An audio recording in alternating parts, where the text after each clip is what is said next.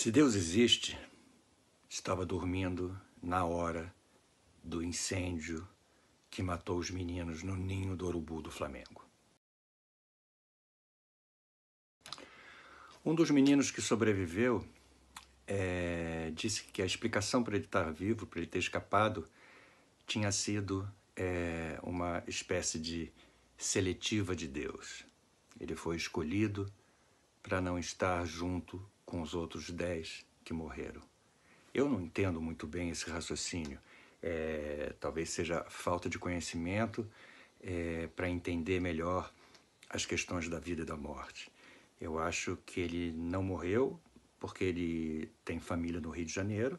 Como não ia ver treino, ele foi dormir em casa, por acaso, pura sorte. Nada da mão de Deus nesse caso.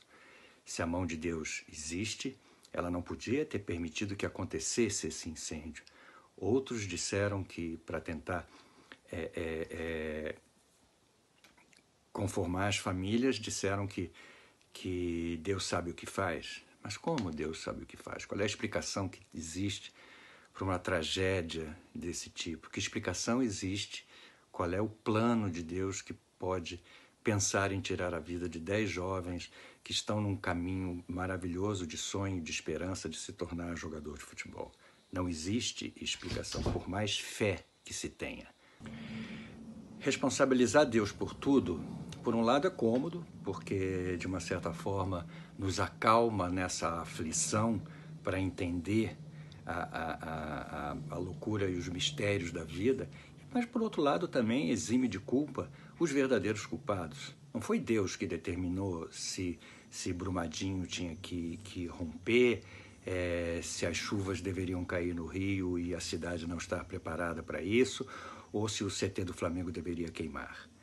Na realidade, foram os homens, a incompetência dos homens, o descaso dos homens, a crueldade dos homens e a impunidade dos homens. Esse é o verdadeiro Deus, entre aspas, que existe por detrás dessa história toda. Botar a culpa em Deus é muito simples. É preciso que se bote a culpa nos verdadeiros culpados. Que eles sejam presos, que eles sejam julgados e punidos por todos esses crimes.